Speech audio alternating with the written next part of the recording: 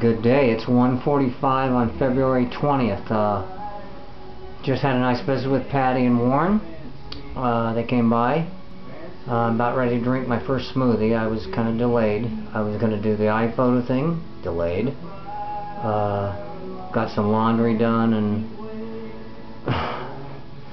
just generally waylaid today. But uh, Tony's coming over at 2.30. We're going to go to her house, uh, do a correspondence to Motion Picture about the billing and then go see the uh, Academy Award nominated short films. Um, and I'm excited about that. Uh, if I didn't say it yesterday, uh, I'll say it today. Saw the movie In Bruges. Fucking awesome. Fucking awesome. Um, lips are still real bad. Inside of the mouth is much better today. Um, and now it's pig on. Talk to you later.